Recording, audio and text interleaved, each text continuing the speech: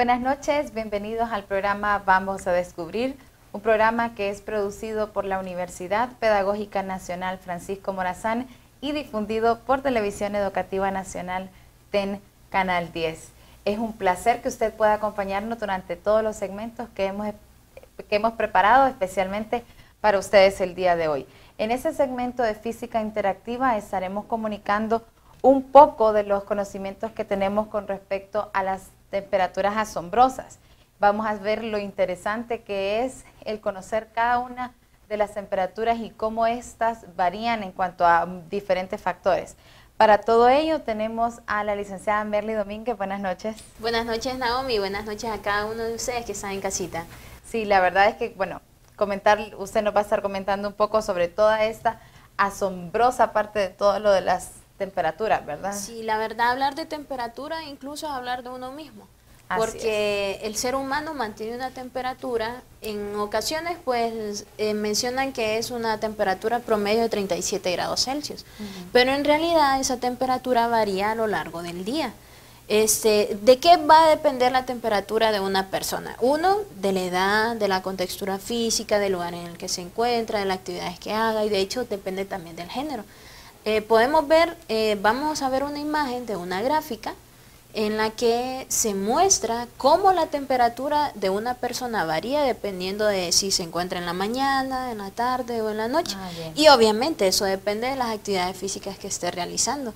Así es. Sí, la verdad es que es interesante y mientras estamos viendo nosotros en pantalla la, la gráfica que nos van a poner, solo quiero comentar cuál es exactamente la temperatura promedio que un ser humano tiene durante el día. Ok, cuando nosotros vamos al médico, el médico nos dice si se ha pasado de los 37 grados Celsius, entonces ya empieza a elevarse su temperatura. O sea que el promedio es 37 grados Celsius. Pero como vemos, eh, veamos la imagen anterior, la gráfica, por favor, si nos ayudan. Exacto, vean si las primeras horas antes de las 12, desde las 7 a las 12 nuestra temperatura, desde las 7 de la mañana hasta las 12 de la mañana nuestra temperatura empieza a elevarse y se mantiene más o menos constante entre el rango de 12 de la tarde a 7 de la noche, más o menos.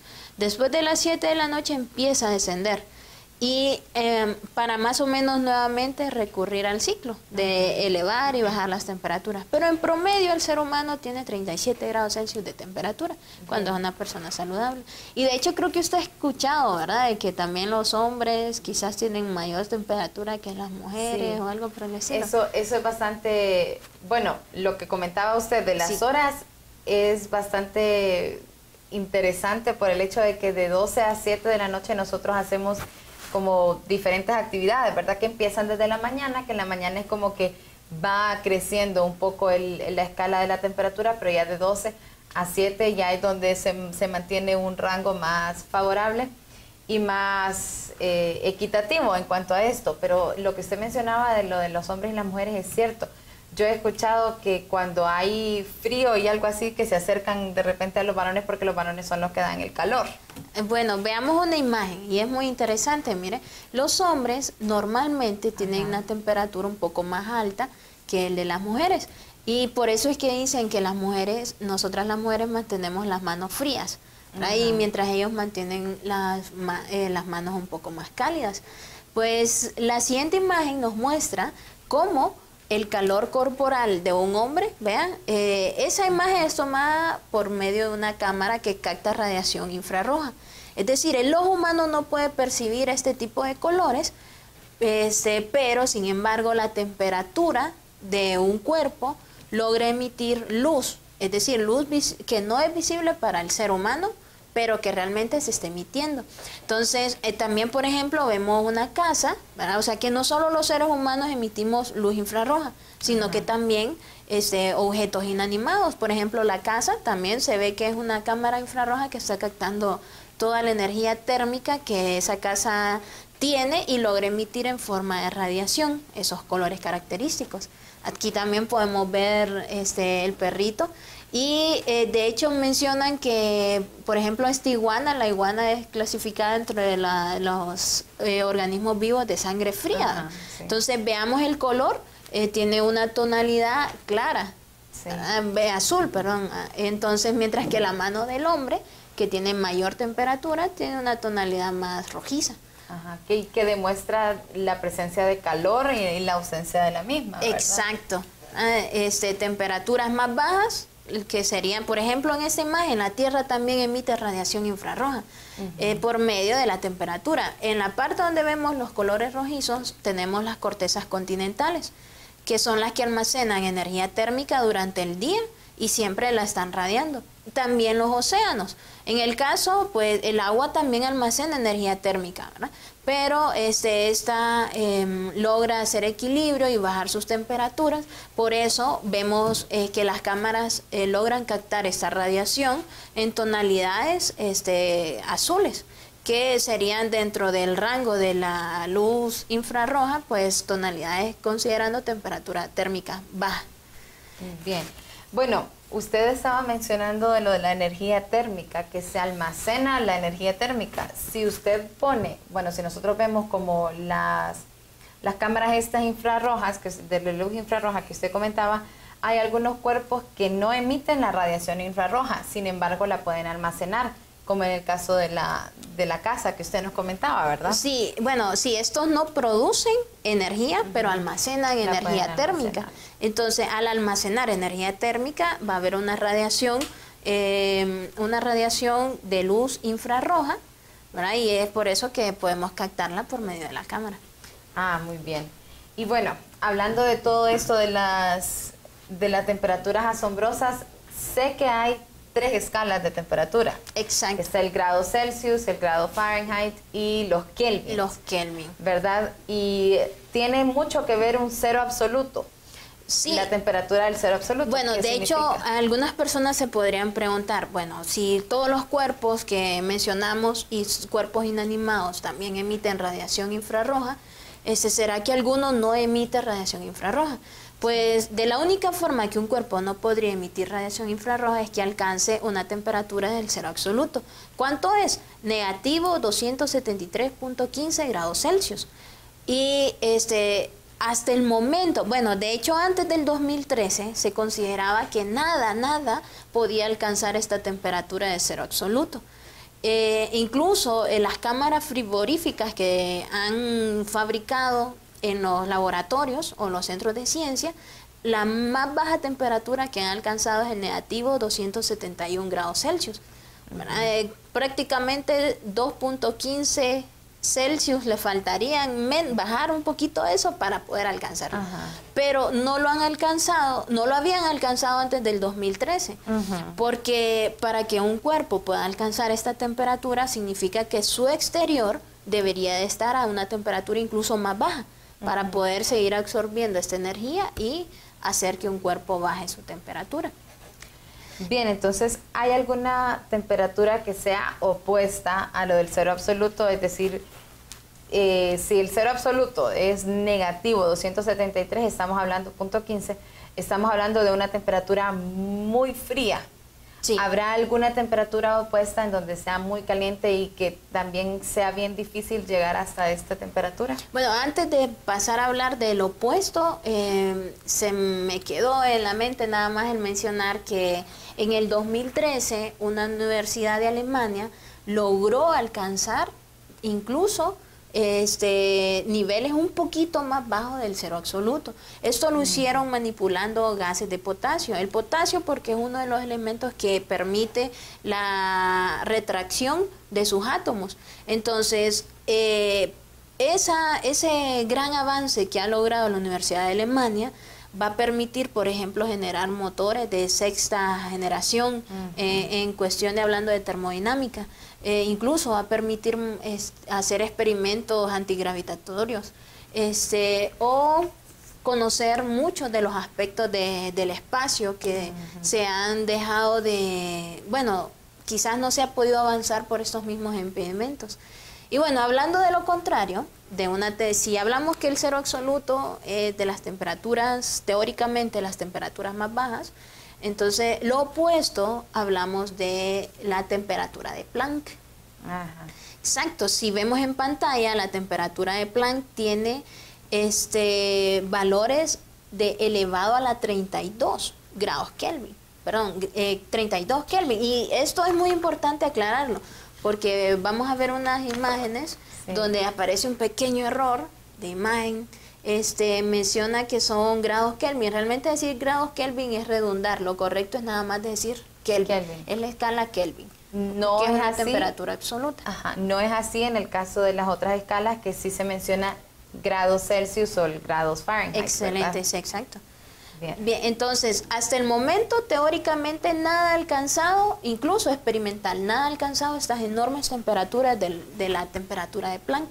Se dice que cuando el Gran Big Bang eh, hubieron pequeñas fracciones de segundo, ahí estamos viendo una imagen, después de que se generó el Big Bang, segundos, no había pasado ni un segundo, de hecho, cuando hubo un momento en el que la temperatura fue tan elevada, pero no la temperatura de Planck. Y, e incluso la materia en ese momento no, se me, no, no era de la misma forma que nosotros conocemos como materia. Entonces, si, me está, si nos está conversando sobre que la materia no era igual en términos de por la temperatura, en ese entonces, ¿cómo era antes la materia o cómo se, se dice que la materia era antes de en este espacio cuando, cuando tenían los, la temperatura así tan elevada. Fíjese, bueno, incluso nosotros podríamos decir, la materia a altas temperaturas suele derretirse, transformarse en carbón, incluso eh, en, en otros elementos muy diferentes. Pues se asume que en un inicio la materia era como una especie de sopa, de quartz, como estamos viendo en pantalla. No tan literal, ¿verdad? Pero es una forma en la que podríamos imaginarnos realmente, nos podríamos imaginar realmente eh, puros quartz en, en nuestro universo. No podemos ni incluso ni visualizar un átomo en sí, o probablemente.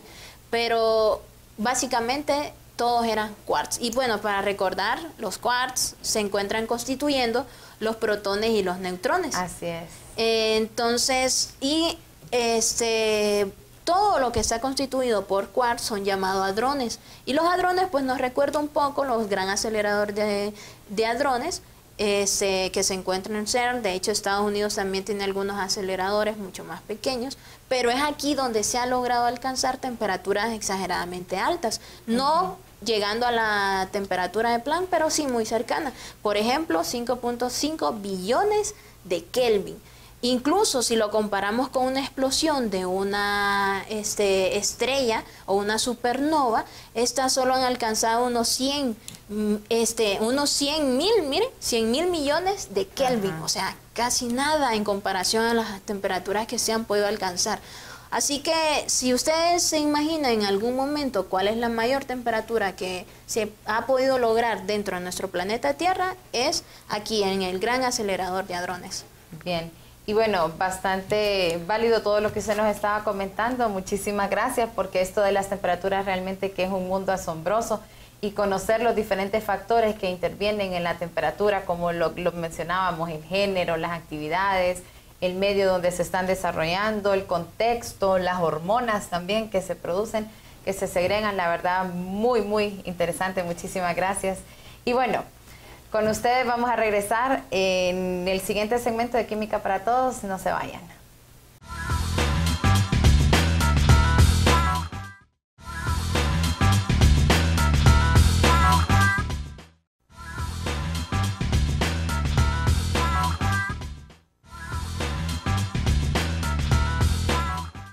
Buenas noches, muchas gracias por continuar en sintonía de nuestro programa Vamos a Descubrir. En este segmento de Química para Todos estaremos hablando de un tema que nos gusta a los pequeños, a los grandes, a los medianos, a la mayoría de los televidentes, y es el dulce específicamente. Vamos a estar platicando bastante sobre toda la química que existe detrás de ese dulce, detrás de ese confite que nosotros nos nos comemos en las fiestas, en, los cumpleaños, cuando estamos, cuando estamos cansados, cuando no tenemos tiempo de comer, todo ese tipo de, dulce que nosotros pues ingerimos, vamos a estar platicando todo con respecto a la química. Para ello tenemos a la licenciada Rosana. Buenas noches. Hola, buenas noches Naomi, buenas noches a todos ustedes y gracias por estar siempre en el segmento de Química para Todos con nosotros. Así es. Entonces el dulce, específicamente cuando vamos a estar platicando del dulce, queremos conocer qué es el dulce. Bueno, un dulce se conoce como aquella sustancia sólida, se le llama también caramelo, golosina, confite. Por ahí encontré un nombre raro, tuto, en algunos países me imagino que así se le llama, que contiene básicamente eh, azúcar. Dentro de la composición química van a haber azúcares y puede ser un azúcar cocida, que en este caso sería el caramelo, o puede ser también dentro de lo que son los dulces, algún helado, que podría ser ese tipo ice cream que nosotros siempre andamos comiendo y que degustamos. Y que en los tiempos de verano es lo ah, mejor cuando... Ahorita, por ejemplo. Sí, cuando nos refrescamos. Sí, usted nos puede ampliar un poco en cuanto al tema este que yo sé que la lengua es la que el órgano que percibe todos los sabores, ¿verdad? De lo que nosotros ingerimos. Pero de acuerdo a cada zona es que nos de la lengua es que nosotros podemos percibir, estos sabores, ¿verdad? Entonces la lengua como que se, se divide en algunas zonas en donde las papilas gustativas son las que están encargadas de percibir cada uno de esos sabores que nosotros sentimos. Si nos puede ampliar más. Bueno, básicamente también hablar de que el dulce eh, eh, se reconoce como uno de los eh, cinco principales sabores. Creo que todos nos familiarizamos con dulce, salado, ácido, amargo y por ahí hay uno nuevo que se llama el umami que este es el sabor que reconoce lo que son glutamatos, más, más orientado a lo que es comida oriental, ¿verdad? Pero es uno de los sabores nuevos que han salido. Yo creo que eh, el sabor dulce, todos sabemos que la lengua está llena de papilas gustativas, que son receptores sensoriales. Aproximadamente en promedio un adulto tiene 10.000 papilas gustativas y dentro de la lengua, como podemos observar en la imagen, tenemos las zonas donde se va a percibir los diferentes sabores. Por ahí creo que no está el umami todavía, pero el dulce está en la parte frontal de la lengua. Pero si volvemos a la imagen anterior, tal vez la podemos poner.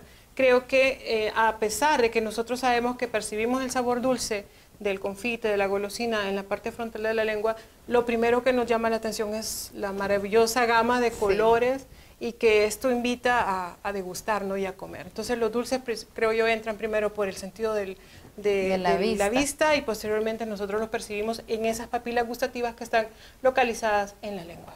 Y es muy cierto, la verdad que la, la industria como tal, todo el marketing que hay detrás de todas estas golosinas, nos engañan o nos tratan de vender esa imagen específicamente la, la fachada ¿no? de lo que de lo que hay, toda esta forma y no digamos el color que como dice usted, hacen que caigamos rápido. Caemos rápidamente rendidos ante cualquier dulce o gomita de sabor. Así es, entonces, y bueno, ya pasando de todo esto, sabemos que químicamente hay, una, hay un proceso para todo este, este dulce. Y pues sabemos que la química es una ciencia central que está en, alrededor de todo, ¿verdad? Es lo que eh, compone nuestro nuestro entorno. Entonces, ¿cómo sería la química de los confites? La química de los confites, perdón, depende del tipo de confite o de la golosina que nosotros estemos denominando confite en esta gama de, familia, no de lo que es un confite. Eh, pueden ser cristalinos, como vemos en las imágenes, o aquellos duros que son de color mate o sólidos que vamos a degustar. Pero básicamente estos compuestos todos van a tener carbohidratos y nos van a aportar esa, esas calorías ¿no? Eh, beneficiosas para nuestro cuerpo. Básicamente es una combinación entre dos azúcares. Estamos viendo que es un disacárido. Principalmente en los confites nosotros encontramos lo que es la sacarosa. Y esta está compuesta por glucosa y fructosa. La fructosa originaria de las frutas, como su nombre lo indica, la glucosa es aquel carbohidrato o aquel monosacárido que encontramos presente, por ejemplo, en la sangre de una patología como es la diabetes, pero que obviamente se utilizan como edulcorantes dentro de los procesos industriales de la composición de los, de los confites, de las golosinas. Entonces, son eh, compuestos, son alimentos que nos van a aportar también no solamente azúcares, también por ahí podemos encontrar vitamina C, si por ejemplo algunos confites están rellenos de frutas, ¿verdad? O podemos encontrar vitamina D, las golosinas como este tipo, que son las gomitas, que son ampliamente eh, degustadas, ¿no? porque realmente creo yo que con solo verlas también llaman la atención y son riquísimas. Eh, van a contener a veces también algún tipo de, grasa vegetal o animal y estas, estas gomitas también pueden llegar a tener o la composición es a base de cartílago de algunos animales. Entonces ya cuando empezamos a ver la composición química mucha gente la deja de consumir porque al final casi no tienen un aporte nutricional importante, sino que es casi como decir del cartílago animal estamos elaborando un compuesto químico que al final sabe también como una goma. Pero también, si estamos hablando de, por ejemplo, un ice cream o un helado, podemos encontrar vitamina, este, eh, calcio, perdón, por la parte de la leche, o también hierro si, eh, si, incluimos dentro de lo que son las golosinas, confites dulces y todo lo que lleva azúcar a los pasteles, porque la harina de trigo va a tener entonces alto contenido de hierro y eso ya es un aporte nutricional muy importante. Sí, bueno, en algún segmento, nace como muchos segmentos nosotros estuvimos hablando sobre las vitaminas y los minerales y pues sabemos de la importancia que esto tiene en cuanto al funcionamiento, para el funcionamiento de nuestro cuerpo.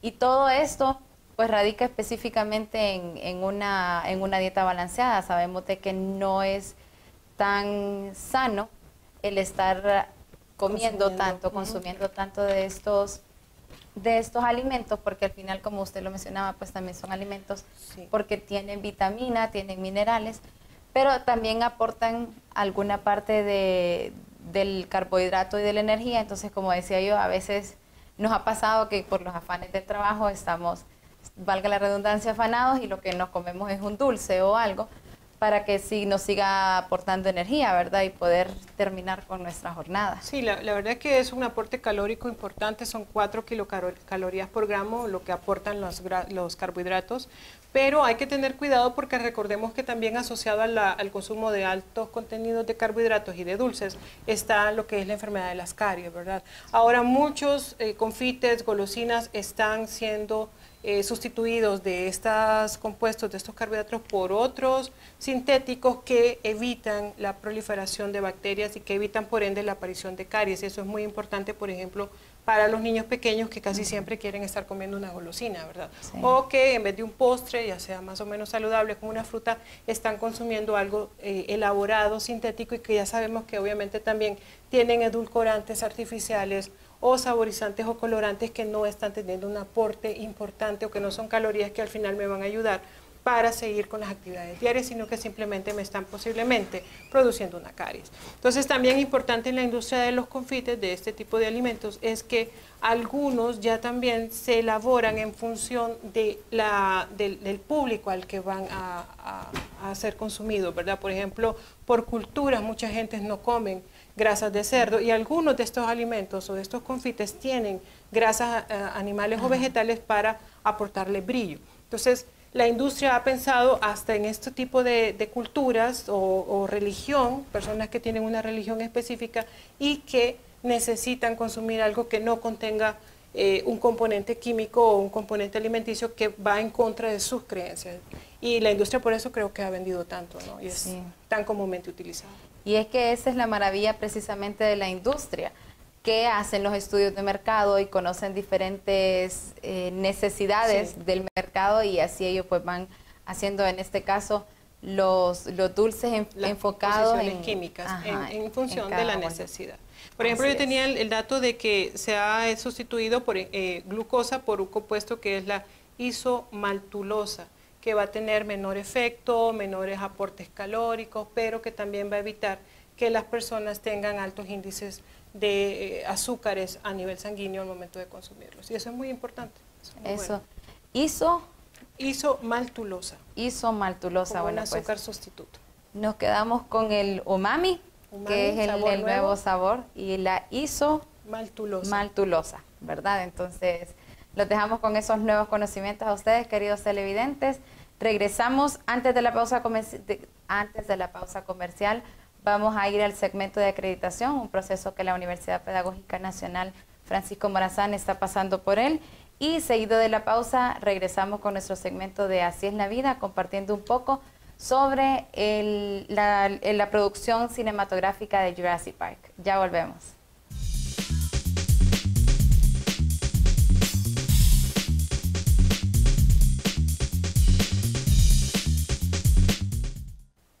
Nuevamente les doy la bienvenida a este segmento Acreditación y Calidad Sostenida de la Universidad Pedagógica Nacional Francisco Morazán. En este proceso que ha iniciado la universidad y que hemos venido informándoles a todos ustedes, se ha venido trabajando a través de diferentes comisiones que responden a los dominios que HCERES ha establecido.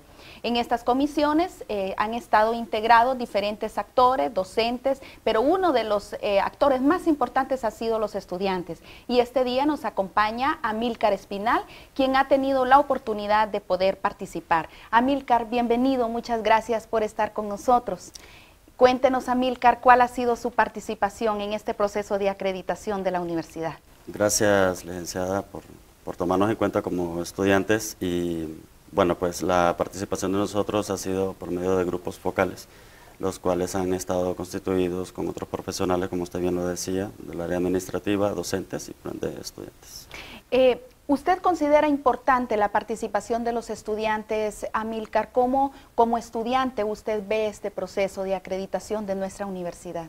Yo creo que el proceso eh, está claro cuáles son sus objetivos y desde el momento que los estudiantes, nosotros los estudiantes somos tomados en cuenta, creo que eh, es, un factor, por decirlo así, determinante para este proceso de acreditación, porque podremos decir que somos los beneficiados directos de este proceso.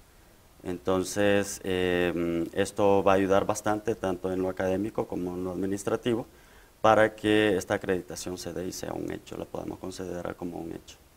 Eh, ustedes, eh, dentro de su grupo de compañeros, por ejemplo, ¿usted cree que la comunidad está informada de este proceso, que hay suficientes elementos para poder emitir juicios acerca de este proceso de acreditación?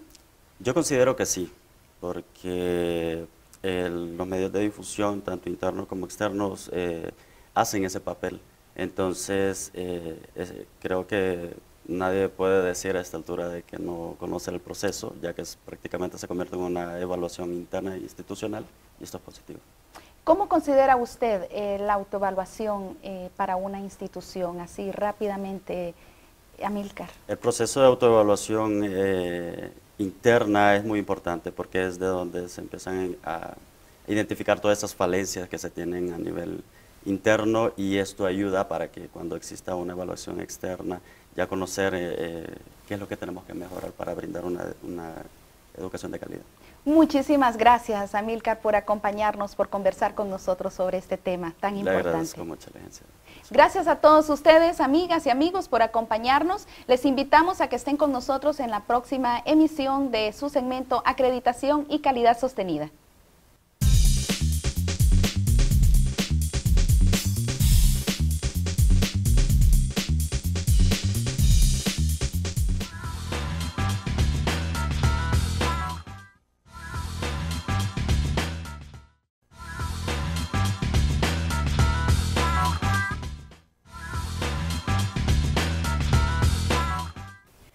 Bienvenidos al segmento de Así es la vida. En este segmento estaremos platicando sobre un tema bien interesante que está relacionado con las producciones de Hollywood. Este es pues, una producción cinematográfica de Jurassic Park. En los últimos días se ha estado eh, visitando bastante el cine, pues todos hemos ido al cine para ver esta película y la verdad es que en este segmento estaremos platicando un poco sobre el apogeo científico que esto ha producido en cuanto a todo el estudio de los, de los dinosaurios que se ha, que se ha ido pues realizando. Como siempre, tengo al magíster Javier García aquí a mi lado para que esté compartiendo un poco sobre toda esta información que tenemos el día de hoy. Buenas noches. Buenas noches, no, buenas noches a todas las personas en casa.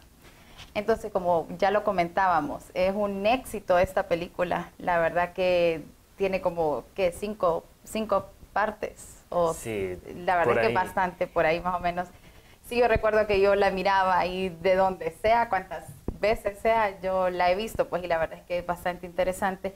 Todo esto de la producción cinematográfica que, que, se, está, que se ha estado haciendo, ¿cómo es que biológicamente puede ser esto acertado o no? Aunque qué tan acertado biológicamente es un tema, ¿verdad? discusión, de hecho, el que vamos a tratar hoy sin desconocer, ¿verdad?, lo que comenta usted, que esto ha, propiciado un acercamiento a la ciencia, un acercamiento al estudio de este tipo de, animales que ha despertado desde los 90 el interés de un montón de gente. que también dato curioso es que con las recaudaciones que ha tenido una sola de esas películas podría pagarse la deuda externa del, país. Imagínese. O sea, que ha, sido, ha tenido ese, ese, impacto, ha tenido ese, esa aceptación en el público. Y sin duda, yo también recuerdo de niños pensando que iba a ser paleontólogo y no lo, no lo fui, pero sí son el tipo de cosas que acercan a la persona a su área de la ciencia, a la, que, a la que posiblemente va a terminar desempeñándose por el resto de, tu vida, de su vida. Ahora, con respecto a, lo, correcto biológicamente de la, de la producción, esta se basa en lo siguiente, se basa en que este zancudo vino, picó a un dinosaurio, y que eventualmente se quedó atrapado en la resina de, un árbol. Esa es la, premisa principal de la cual todos los dinosaurios que aparecen en la cinta hace 20 años eh, están, están ahí, gracias a eso. Entonces ese se quedó atrapado en la resina y eventualmente eh, unos exploradores, de mineros creo, encuentran al, animalito fosilizado, al animalito atrapado. Entonces luego lo, perforan, le hacen una, sondita, un canal, del cual le extraen la sangre, no del mosquito, sino que la sangre del dinosaurio, el que picó el mosquito. Sí. Eh, con una micro lanceta y con una jeringa especial, eh, con la finalidad de usar ese ADN ¿verdad? de la sangre eh, para, para, replicarlo, para ahí están las cadenas de nucleótidos. Esa justamente es como están en la primera película explicándole al equipo de científicos cómo hicieron que estos dinosaurios volvieran a la vida. Em, para finalmente, bueno, ahí están ellos eh, representando cómo em, tomaron ese, ese, ADN rescatado de la sangre del dinosaurio y lo mezclan con ADN de anfibios actuales para eh, generar embriones de dinosaurio, o sea, eh, que pudieran luego generar un dinosaurio bebé, del cual después crece a los tamaños en que ya estamos acostumbrados a verlo en Jurassic Park. Entonces, ese es el fundamento, donde hemos empezado a decir qué tan cierto sea ahí está. Nace desde un embrioncito, nace un dinosaurio adulto. esa es. la principal trama, esa es la principal línea de la, de la trama que, que, la, la historia considera. Ahora, ¿qué pasa con esto? Para empezar, em, lo que ocurre es que el, mosquito que aparece ahí eh, no, come plantas, no, come sangre, perdón, no toma sangre. Es eh, un género eh, tóxico, toxorrinquites. Es el único, por cierto, el único género de zancudos que no chupa sangre. Ahí lo podemos ver en su hábitat natural, es famoso por tener esas antenitas peludas y por el tamaño tremendo que, tiene. Entonces sí, eh, eso lo, es un, aporte de un entomólogo que, analizó la película y que vio, hay, tomas muy, muy cercanas, creo que de hecho tenemos una imagen de eso, de la, em, del mosquito que lo produce, ahí está. Ah, y eh, justamente una especie que no consume sangre. Entonces ese es un primer, eh, digamos que imprecisión biológica. Ahora, es, aquí hay que resaltar que es un error menor en el sentido de que es una especie de muchas especies, un género, perdón, de muchos géneros. Entonces, eh, Toxorrinquites no lo hace, pero eh, sabemos que por producción, para que se mire una especie bien, para que se mire grande, de aquí nuestro amigo productor Fabri nos podrá decir mejor que nadie, hay cosas que se hacen para que funcionen en pantalla, seguramente. sí. Entonces, eh, es un, primer error, algo inocuo, pero que lo estaríamos tomando en cuenta. Ahora, con respecto a ese principio, a ese fundamento, sí hay cosas más, más de fondo que, también son, son mitos, que también eh, podríamos em, comentar sobre la, sobre la trama. Y es que se han hecho estudios donde, con, abejas actuales, donde, que, han quedado por el mismo procedimiento petrificadas, fosilizadas en una planta con la intención de sacarle el ADN a ellas. Y desde hace muchos eh, años, 2000 años, aquí lo que tenemos en pantalla es la cadena de, nucleótidos, ya vamos a, ya vamos a ver qué, representa esto. Pero eh, que cuando es una abeja mucho más reciente, una abeja que creo que son de, de 8000 años que se han encontrado atrapadas en resinas de árboles, no han logrado detectar ADN viable, ADN que, que, se pueda leer de esta manera. Miren, lo que tenemos en pantalla es la cadena de bases que conforman la cadena de, ADN. Ahí, por ejemplo, tenemos adenina, adenina, guanina, timina, adenina. Esa secuencia es la que se rescata eh, de los, del material orgánico de los, de, los, de los especímenes. Entonces, para hacer algo de lo de, de lo de Jurassic Park hay que tener una cadena lo suficientemente larga de nucleótidos preservada que pueda eh, introducirse en otro animal, en este caso en un, en un anfibio, como ellos lo, lo, produjeron, para que se empezaran a manifestar esos, esos, esas características, esos genes, esas características en otro organismo para darle, darle plazo. Entonces, en, abejas, mucho, mucho, mucho, mucho más recientes que los dinosaurios, no se ha, no se ha logrado extraer ADN viable. No digamos en este caso que son especies de hace 130 eh, millones de años, lo, donde se depende que se, le saque esa sangre, no, de la, no del mosquito, sino que de la, del animal, del, del dinosaurio, para reproducirlo. Y es, y es bastante interesante cuando las personas que saben de estos temas notan esos ciertos detalles, como usted lo mencionaba, ¿no? El, el, mosquito este que no es el que chupa sangre, sino que es el de solo de las plantas y, y todo esto. Sí sé que lo de los dinosaurios tiene cierto periodo, que fue el, el, periodo del Cretácico, ¿verdad? Entonces, ¿qué nos podría comentar usted? ¿Qué pasa en ese periodo específicamente? ¿Dónde están los dinosaurios? Bueno, pasa algo también súper importante en la trama. Ahora mismo vemos el mapa eh, del Cretácico justamente cómo estaba la distribución continental para ese tiempo, hace más de 100 millones de, de, años. Terminó hace 65 millones de años, ese fue el fin de esa, de esa era. Eh, y lo que podemos notar es que, por supuesto, Centroamérica todavía no existía. Esa es una de las razones por las cuales aquí es eh, inviable, se ha manejado esa información por mucho tiempo, inviable la existencia de fósiles de dinosaurios, de dinosaurios terrestres. O sea, que escarbemos y que nos encontremos em, unos restos fosilizados de un T-rex o de uno de triceratops o de este tipo de, de organismos, porque no existía como, como, como franja, no existía como faja nuestro istmo, nuestro, nuestro territorio. Y pero esto, perdón, pero esto de, Centroamérica como tal, que no existe, ¿por qué se, por qué se da?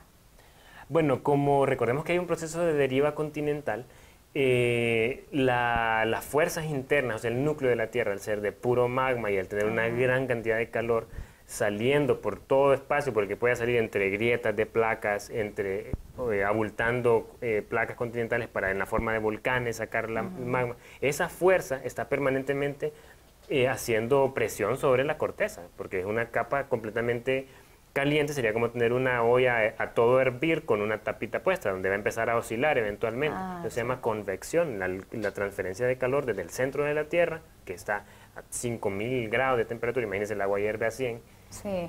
Em, y nos haciendo, un montón. y quema, exagerado.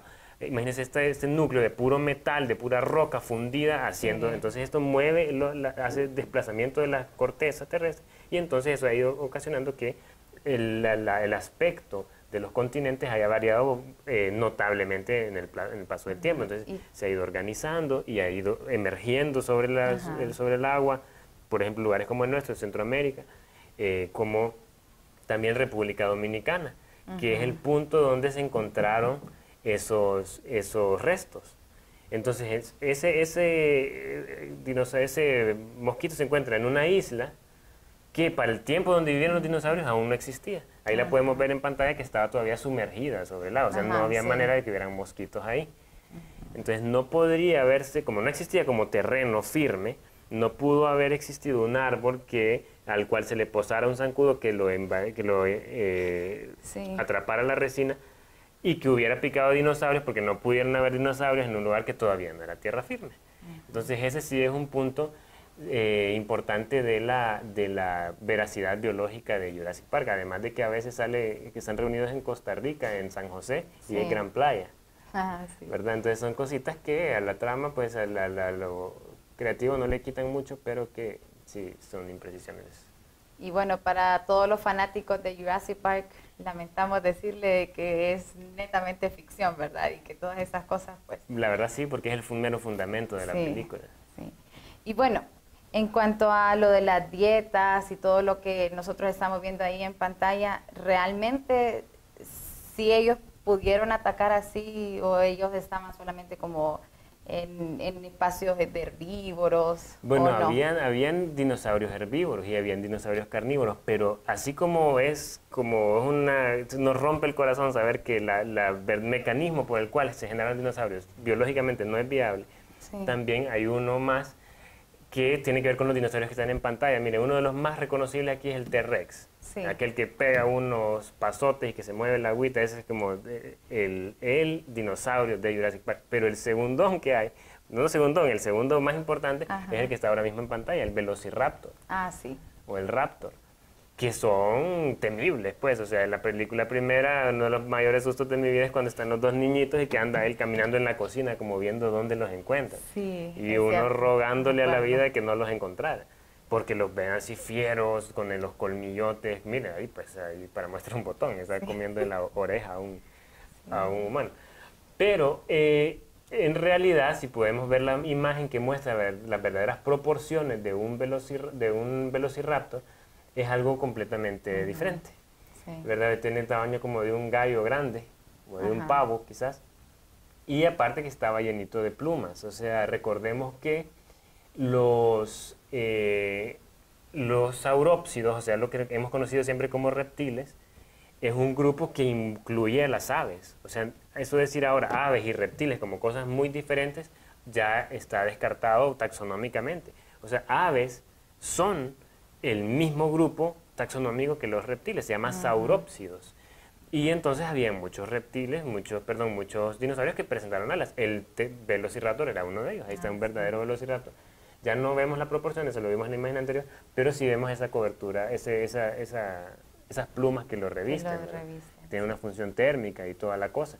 Mucho menos atemorizante, ¿verdad? Que, como se, entonces no hubiera funcionado. De nuevo está ahí el valor de la producción. Eh, usted le sirve tener un animal que le va a tener tenso toda la película porque le va a ser más vendible, pero en realidad no, no es un ah, pues proceso que se... Bueno, muchísimas gracias y comentarle a nuestros televidentes entonces que vivamos las películas de Jurassic Park y toda esta producción cinematográfica de Hollywood y de, de diferentes casas productoras netamente con esa intención y ese, ese fervor emotivo que, que uno, que uno tiene cuando mira esas películas, pero que realmente, pues biológicamente hablando, como usted lo mencionaba, no son tan viables, ¿verdad? Sí, aunque es muy creativo el mecanismo, en realidad, con ese detalle de que el ADN no sobrevive tanto tiempo, de que tendría que salir de un lugar donde sí hubieran habido dinosaurios, y también verla con la óptica, bueno, de, entretenerse, ¿verdad? Pero que también esta ciencia atrae, y esa ciencia suele que ha acercado a esta rama, la biología o la herpetología, a muchísimos niños, a muchísimos niños ahora adultos que seguramente están haciendo cosas increíbles. Sí. Y que como bien lo comentábamos al inicio, pues son cosas que promueven el, el estudio de este tipo de, organismos que ya, gracias a Dios, no tuvimos la, la buena intención de conocerlos. Así que bueno, muchísimas gracias, queridos televidentes. Con ustedes ya volvemos después de esta pausa.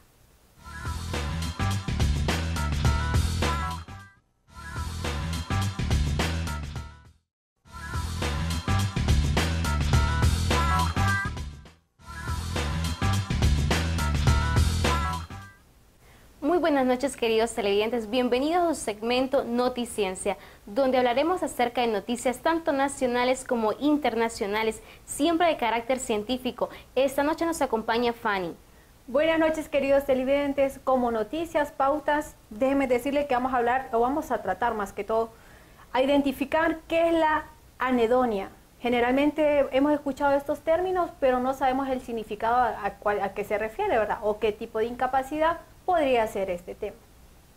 También tendremos, otras, entre otras noticias, pues, que la cama de un chimpancé es más limpia que la de un humano. Y también hablaremos acerca de que transfieren un recuerdo eh, artificial de un animal a otro. Ya entrando en materia, pues hablaremos que eh, estudios biólogos de la Universidad de California, pues, han introducido lo que es un recuerdo artificial y han utilizado lo que ha sido un caracol marino a otro. Esto pues han utilizado lo que es el ARN, pues sabemos que es un transmisor mensajero y esto pues ayudará mucho a la ciencia para poder eh, establecer recuerdos perdidos y también para desarrollar avances acerca del Alzheimer. Esto es muy importante para desarrollar eh, los recuerdos del Alzheimer, pues para poderlos traerlos de vuelta. y ayudar mucho a lo que tiene que ver con esta enfermedad. El ARN, pues sabemos que es un mensajero celular y que fabrica proteínas y lleva a cabo las instrucciones del ADN a otras partes de la célula.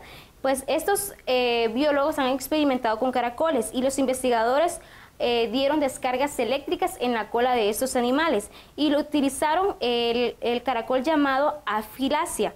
Este invertebrado marino pues se caracteriza por poseer un sistema nervioso con miles de neuronas de gran tamaño, lo que permite implantarle electrodos con gran facilidad. Y así pues los caracoles recibieron cinco descargas eléctricas cada 20 o cada 25 minutos. Pues, ¿qué le parece, Fanny, esta noticia acerca de pues que han utilizado pues estos animales para beneficiar tanto lo que es, eh, recordar eh, recuerdos perdidos y también para la enfermedad de Alzheimer?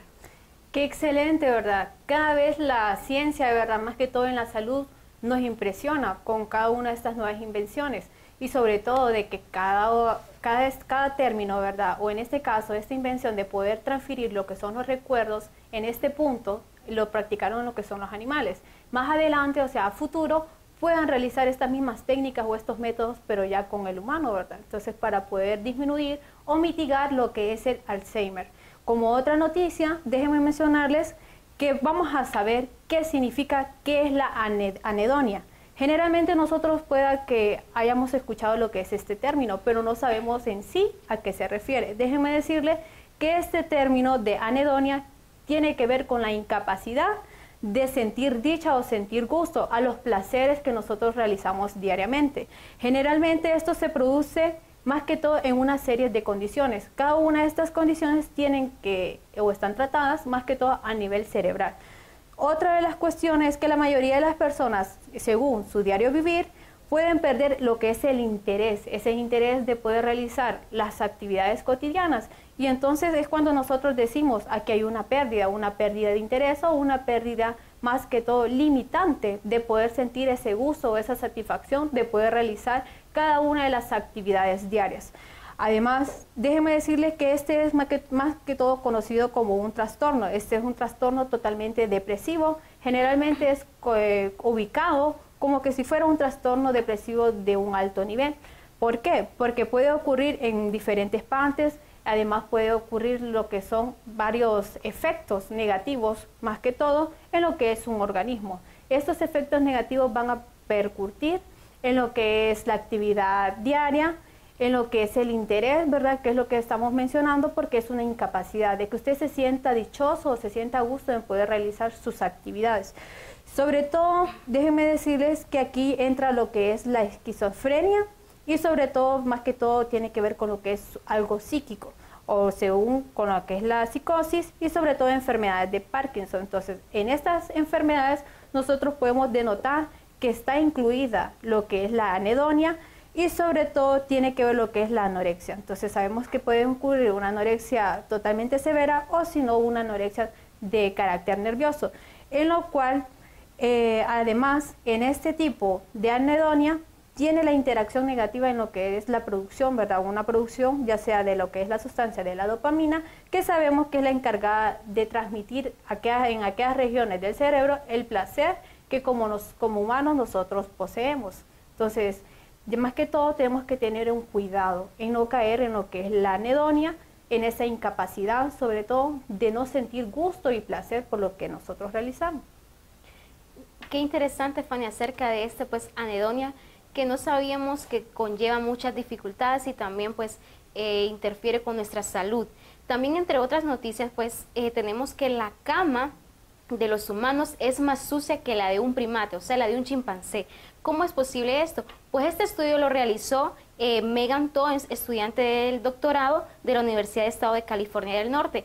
Ella realizó una muestra de 41 nidos de estos chimpancés y donde realizó y comparó las sábanas de una persona humana y, y comparó los nidos de estos primates y llegó a la conclusión de que demostraba que hay demasiadas bacterias tanto en las sábanas de los humanos y menos en la de los nidos de estos primates. ¿A qué se debe? Pues se debe a, que nosotros como humanos pues segregamos lo que son las salivas, también lo que es el sudor y también por heces. Pues todo eso conlleva que se contaminen nuestras sábanas y nuestra cama esté más sucia y conlleve pues más bacterias que microscópicamente se pueden ver, pero a simple ojo humano no lo podemos ver. Entonces es muy importante pues que mejoremos en nuestro aseo, tanto personal y como aseo también de higiene hacia nuestras camas, pues para que estos estudios pues no salgan tan reveladores de que la cama de los humanos pues es más sucia que la de un primate.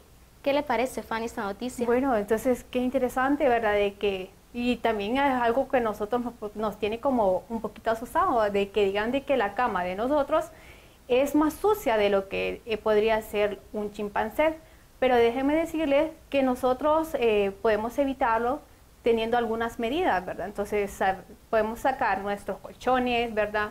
Por lo menos al sol y despolvarlo por lo menos una vez al mes. Entonces podríamos evitar lo que son los ácaros, cambiar las sábanas si es posible a diario o por lo menos dos veces a la semana. Entonces nosotros estamos evitando que podamos contraer algún tipo de, de bacterias, algún tipo de virus. ¿Por qué? Porque están incluidas en lo que son nuestras camas y sobre todo sabemos de que las bacterias o cualquier tipo de, virus lo podemos tener, ¿por qué? Por el ajetreo diario que nosotros tenemos, ¿verdad? Y sobre todo, recuerden de que como tenemos en nuestra dermis, entonces caminamos todo el polvo que a diario eh, tenemos. Así es, y si usted tiene alguna sugerencia o también quiere que hablemos acerca de una noticia que a usted le interesa, pues nos puede escribir a nuestra página de Facebook. Vamos a descubrir CCNN y pues los esperamos que nos sintonicen en nuestro próximo programa en el segmento Noticiencia a partir de 8 de la noche a 9 de la noche.